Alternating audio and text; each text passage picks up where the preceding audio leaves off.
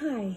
Um, so I heard or I read something recently and it bothered me a lot because every time I hear something like this, I get really frustrated and I have a pretty strong opinion about it. So I'm going to share it. Um, to the people out there who have never lost a child, okay? But have the audacity to tell a mother who has lost a child that one, she's posting pictures of her child who passed away for attention makes me sick. Two, to ever get over it, another one that makes me sick. Or, quite frankly, any ignorant opinion you have, um, do yourself a favor and just don't speak. Because is anybody telling you, oh, stop posting pictures of your kid for attention? Or how about another selfie of yourself? You know, a little cleavage shot. I guess that's not attention, right? But you can tell a grieving mother that her talking about her child who's no longer here is for attention. You are so wrong. It's ridiculous. There's one reason, and one reason only, we will ever talk about our children who passed, and that's because we love them. We love them just as much as our children living or your children living, okay? It's like me saying, don't post a picture of your kid. Stop talking about your child. Like, I'm sorry, but it's insane and it's unnecessary and it needs to stop.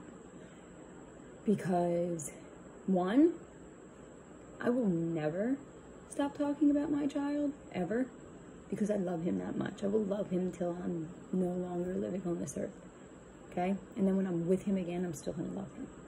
So, I hope nobody ever tells me that. Um,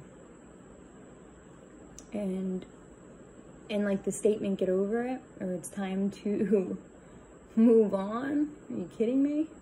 Are you kidding me? You don't move on from losing your child. You don't. You don't move on from that.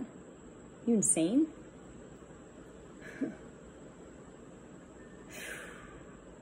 I mean i'm trying really hard right now not to be ignorant as ignorant as i feel like i could be because that's how ignorant you come off when you say something like that to a mother who has lost her child. So the next time you have that little fine thought, just stop. Just stop and imagine your life without one of your children and tell me you wouldn't continue to love them and want to talk about them, to remember them, to keep their memory alive. Because sometimes that's what keeps us going is keeping their memory alive. So I'm going to leave that at that. But I just had to voice that opinion because I get so tired of hearing these moms get upset over a comment and then they feel like they can't share their beautiful children. They feel bad for doing it. Like, are you, no, no, there's not one thing wrong with sharing your child, here or not here. so I had to get that off my chest.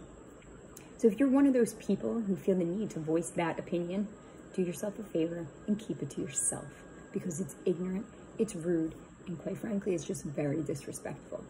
Okay?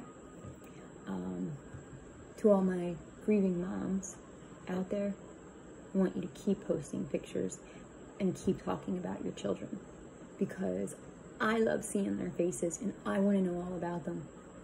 So, to those people who don't, ignore those people. They don't know any better. Um, that's it. That's where I'm going to end that. So, have a beautiful day to everyone struggling today. All right?